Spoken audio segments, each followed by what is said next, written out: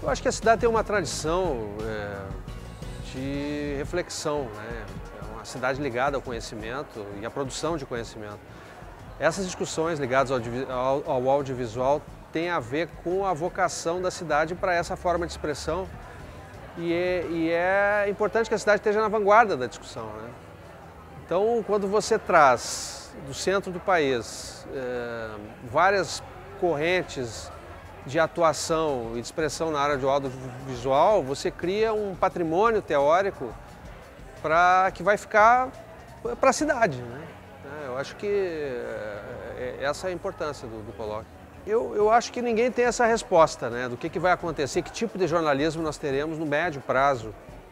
É, a, o certo é que os grandes meios estão em crise, inclusive do ponto de vista da sua sustentabilidade econômica, e estão aparecendo novas formas, novas plataformas e, e, e novos mecanismos de apuração e de expressão da notícia. Né? E talvez o caminho do novo jornalismo seja um jornalismo mais independente, né? Pelo menos existem experiências já concretas nesse sentido. E agora é, é um momento de transição, né? E como todo momento de transição traz um pouco de angústia, tanto para quem está no mercado quanto para quem está entrando no mercado de trabalho, né?